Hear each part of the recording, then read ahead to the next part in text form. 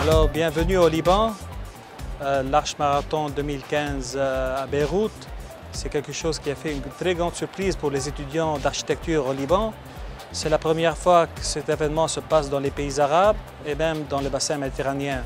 Cette activité-là a, pu aider les étudiants d'architecture de faire cette interactivité avec les autres euh, étudiants d'architectes dans les pays arabes ils ont pu changer les idées, un peu la pensée de ce qui se passe entre ces pays-là et de plus avec les pays européens.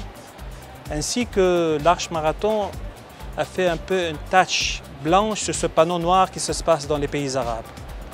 Voilà, c'est l'importance de l'Arche Marathon à Beyrouth 2015.